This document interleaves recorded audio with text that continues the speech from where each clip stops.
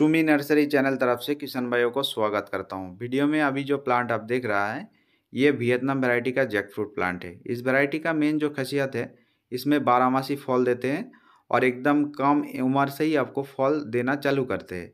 एक या डेढ़ साल से ही इसमें से फल लग जाते हैं। ये जो प्लांट फ़िलहाल अभी देख रहा है, ये दो साल उम्र का है। इस प्लांट के एक डाली की तरफ़ देखिए, तीन फूल फल है, दो फल है और एक फूल है। ये जो फूल है, हम खोल के आपको दिखा रहा है, ये फूल के अंदर देखिए, एकदम छोटा साइज़ में फॉल आया हुआ है। ये जो फल है, एकदम छोटा है और सामने वाला दो फ्रूट है, एक मीडियम है, एक थोड़ा सा बड़ा हुआ है। वो मैच्योर्ड होने के बाद तीन चार के जी पाँच के जी तक बन जाएगा। ये जो छोटा फूल के अंदर जो छोटा साइज़ का फल निकले है, बगल में दूसरा और एक फूल है, जो ग्रीन कलर का दिख रहा है आप।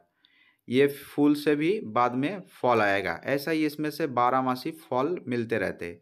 इसके नीचे की तरफ़ जो डाली है, छोटा डाली में, देखिए इसमें भी दो तीन फॉल आया हुआ है।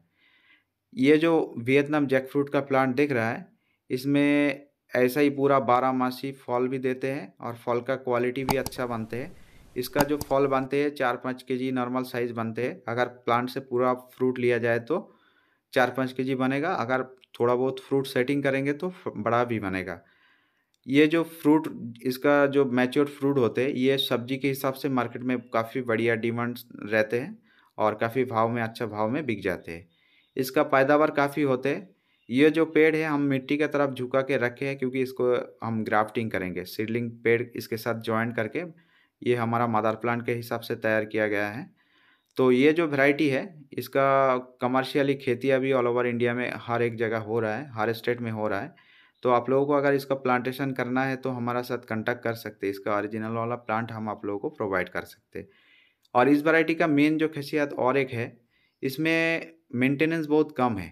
प्लांटेशन करने का एक साल बाद में इस वैरायटी का जैक फ्रूट प्लांट का ज़्यादा देखभाल भी करना नहीं पड़ते जिसके पास टाइम कम है, कोई दूसरा जॉब करते हैं, उन लोगों के लिए जैक फ्रूट खेती करना बहुत ही आसान रहेगा।